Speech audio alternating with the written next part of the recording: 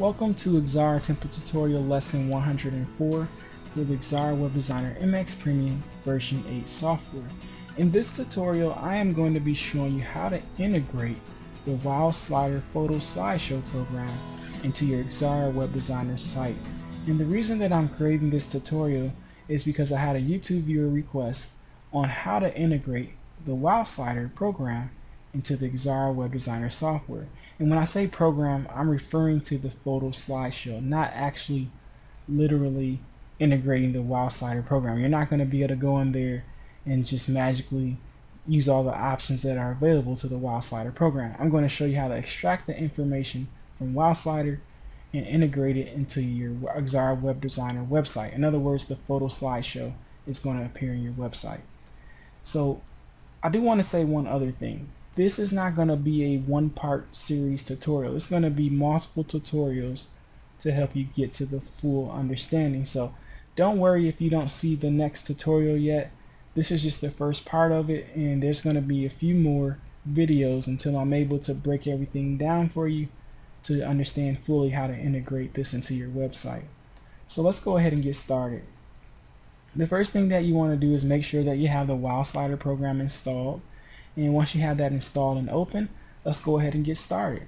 Go ahead and find the pictures on your computer that you want to use. In this case, I'm going to use these two cars and I'm going to drag them into the program. So drag those pictures into the program and I'm going to close out this window for the pictures. And once you have those pictures in the program, with the first picture selected, which you'll know is selected by looking at the blue highlight that's around it, we'll go to the bottom part of our screen and we'll give this image a title. Or in other words, it's going to be a title for the photo slider. And I'm going to call it the classic red car. And for the description, which is right beneath that, I'm just going to write, this is the description for the red car.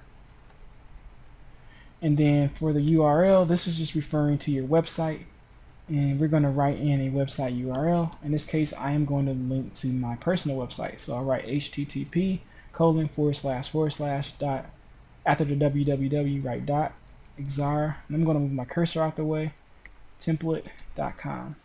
In the target, I'm not going to really talk about that. This is just going to be a brief overview of how to use the Wow Slider program. If there's other functions you want to know how to use, I can talk about that in a separate playlist and direct it towards dealing with the Wow Slider program. So once you write that in, go ahead and left click on the second image and you would give it the same information. In this case, I'm just going to make up something really quickly here so that we can finish this tutorial. So I'm going to write this is the classic black car. And then for description, the description for black classic car. And then for the URL, I'm going to link to Google. So I'm going to write http colon forward slash forward slash www.google.com. And again, I'm not going to set a target. So don't worry about that. And if you want to know about it, I can make a separate tutorial on that stuff. So after we set something for both of these images, we're going to go ahead and click on the image that looks like a tool. And this is for your properties. If you left click that, it brings up your gallery properties and we're going to go ahead and set a slider title for this. And this is just a generic title that we give it for the program to save it as.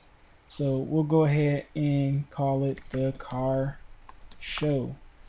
Okay and these are some options here beneath that for how your slideshow will appear. In other words if we wanted to play automatically we would check that box.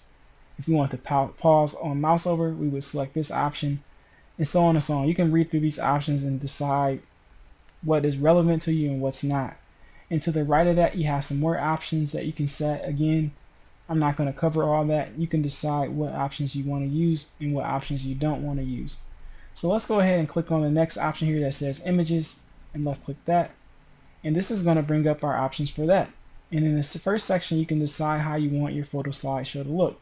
And if you click through any of these options here, it'll allow you to choose what you want your images to look like in terms of the appearance of your photo slideshow. I'm going to just go with the first one and leave it at that.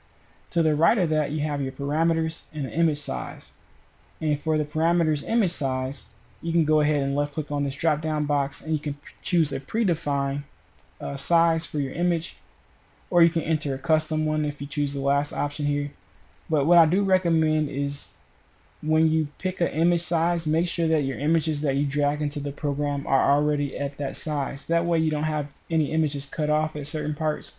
And you can crop that in Xara Web Designer and then just export it as an image and then drag it into this program. Again you have some options beneath this that you can set and I'll let you decide what you want to set for that. For image quality I would go ahead and set that to 100% just to ensure that your images look top notch. For transition effect, I'm going to set that to blur. You can set it wherever you want it to. And when you decide what you want to set it to, leave it at that. And then again, you have some more options down here that you can set, but I'm not going to go into that. And let's just go ahead and move to the next part. And I'm sorry that I'm kind of rushing through this, but I really don't want to make a tutorial that's strictly about how to use all the options in Wow Slider if you already know how to use it. If you don't, I'll make a separate tutorial on a separate playlist that's directed towards that. So I'm sorry if you feel a little rushed trying to follow me, but I don't want to go through all the options if I don't have to because this channel is dedicated to using the Xara software. So let's go ahead and click on the next option here that says publish and will be the publish to folder option. And I do want to say something before I actually move into that. Don't feel like you can't ask me to how to use other programs. I just don't want to put videos in this playlist that are not dedicated to using Xara Web Designer.